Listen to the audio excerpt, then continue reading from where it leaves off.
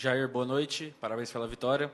Jair, na partida contra o Internacional, você explicou o motivo da escalação do Maguinho. Você disse que queria ali uma dobradinha mais forte na defensiva e, muito, e nesse, ao longo dessa semana muito se questionou sobre a opção do Maguinho no lugar do Bruno Tubarão. Queria te perguntar qual, qual foi o motivo é, dessa, dessa substituição.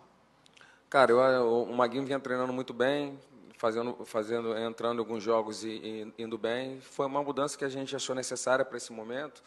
Um jogador que eu, eu, conto com os dois. O Mago já, já tinha trabalhado comigo, então sei o que ele pode dar no terço final.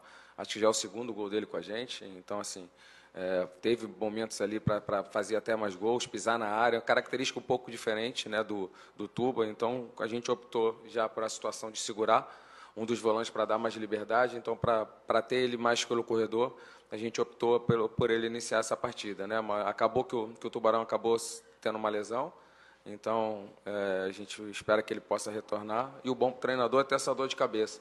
E a gente costuma dizer que um, um jogador acelera o outro, né? O Emílio sempre fala isso. O cara tem que olhar para o banco, saber que tem um cara do mesmo nível, né, buscando espaço ali para que a gente possa ter essa, esse, esse grupo homogêneo, essa competitividade interna que eleva ainda mais o, o, to, todos esses atletas, já que eles olham e vê que tem jogadores do mesmo nível ali.